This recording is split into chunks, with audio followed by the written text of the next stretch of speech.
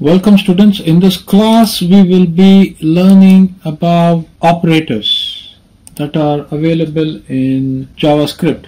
So to be more specific, in this class we will be learning about expressions and operators that are available in JavaScript. Now this is very important because without knowing about expressions and operators, we wouldn't be able to write programs for validations or for decision making and so on and so forth. So the potential for using expression and operators in a code is exponentially high. So with that being said, let me mention to you the list of operators that are available to start off with. So we got what is called as arithmetic operator. Probably we can use the word operators.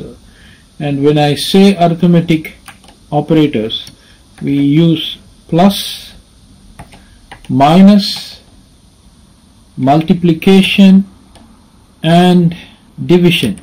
Now these are the four arithmetic operators that are present. But along with these arithmetic operators, there are operators which use arithmetic operators and they are also utilized in carrying out certain level of operations. So what I would do is I would not specify those operators over here but under a different section because that would give you a better understanding. Now having mentioned this uh, let me just move on.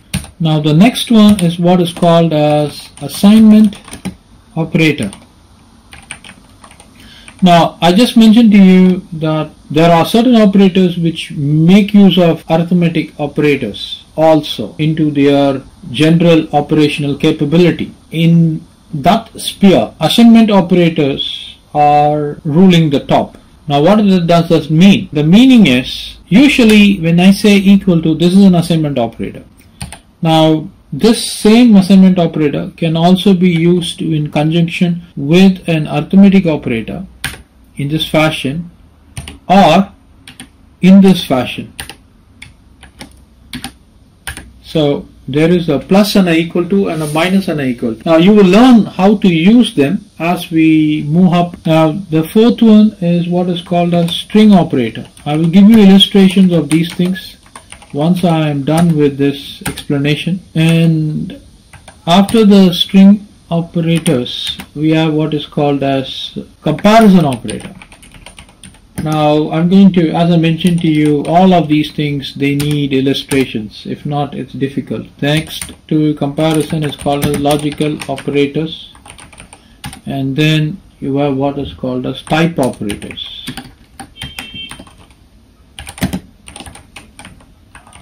And to type, later to type operators, you've got what is called as conditional operator now this conditional operator is also called a ternary operator. That's another name. And then you got a very important operators called as relational operators. So for today's class we will be seeing illustrations of each one of these. So what I would do is I will just copy this up and I'll take them out and I will start with the exclamation mark so that I can have HTML page and then I will change the title and then I say understanding and operators in JS and then I would want to give the comment statement and place in all the things which I have just mentioned so that you can use it for reference. Now after this I want to give a CSS file link. So I'll say link rel is equal to style sheet. And then I'll say type is equal to text slash CSS then give the uh, href CSS slash style2 okay now having mentioned this uh, let us start off with the program now I would like to start with the script and I will first show you how exactly we can perform an addition. I'm not going to be designing or receiving input from the user so directly I will be executing it and I'm going to show you that. So if I take x is equal to say 71 this is an integer and you can say instead of saying let I'm going to use variable and then where y is equal to 21 and then I'm going to say I can also I, as I mentioned to you I can either use let var let or var be equal to x positive y. So make sure to give a space. And then I'm going to say document dot write z. And then I'm going to save this. And let me just go back to the browser. I'm going to open this.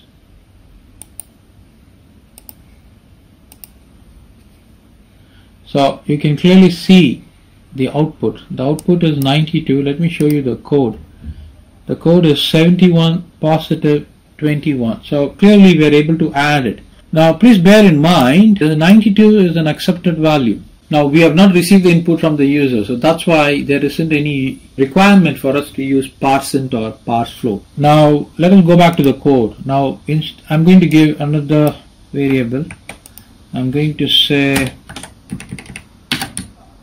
multiply x with y and then I would say z1 and then I will give a I will want to type z1 out. I, I, meaning I would want to print z1 out. So over here you refresh it. You see that? You get you get the output there. The only thing is that I'm not able to give a break there. Now if you want it to look a little bit better because the output is directly getting printed. So a JavaScript calculates it directly like that and gets things displayed. So probably just for the sake of this illustration I will comment this out and I will get the output printed because we don't want to make this more decorative. Thereby we will have to utilize more amount of time. So in the interest of time I would just comment it. So clearly 71 times 21 is multiplied. So I will just comment this up and then I will copy this. And I want to know what happens when x is divided by y let me just first uh, show that to you.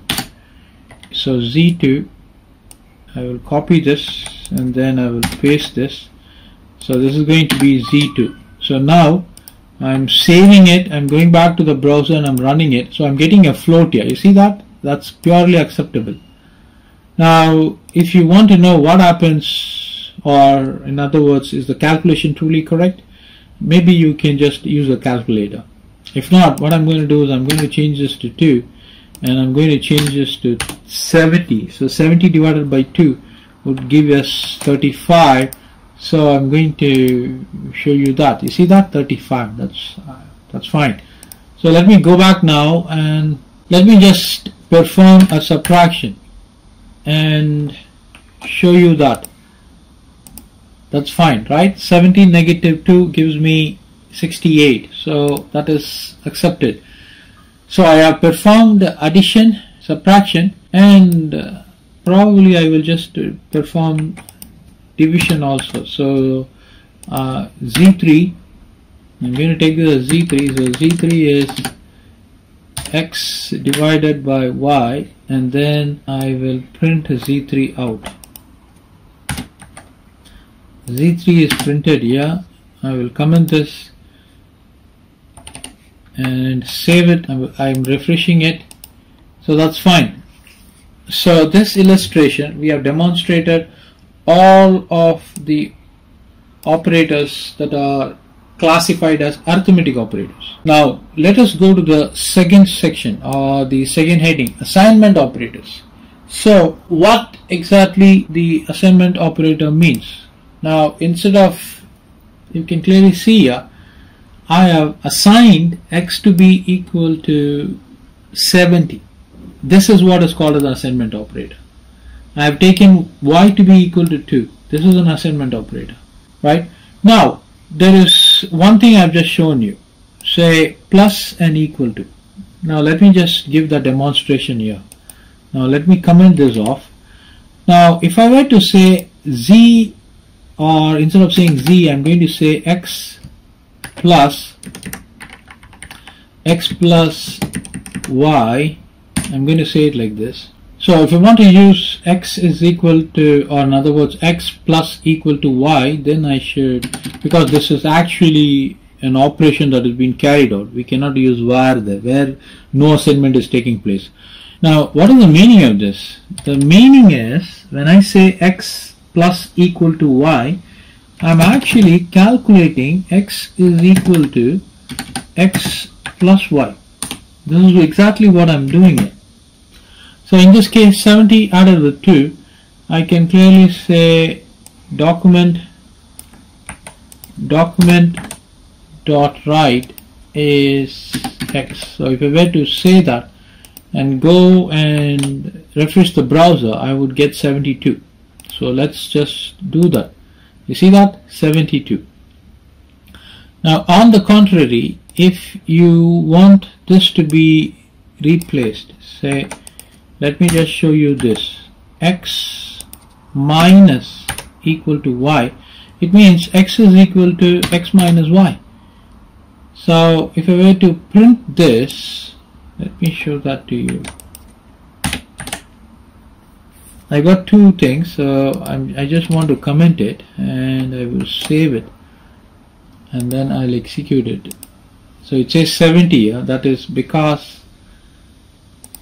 in this case we are actually adding 70 with 2 72 over here we are taking that 72 from 72 we are taking away 2 so that's the reason we're getting 70 now if you were to comment this off then you will clearly see what is happening? So I go back over here I refresh it.